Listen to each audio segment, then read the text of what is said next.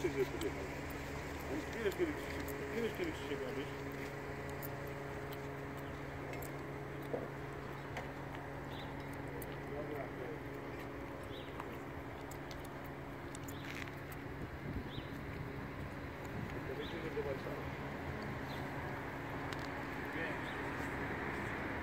Polecimy się o tym.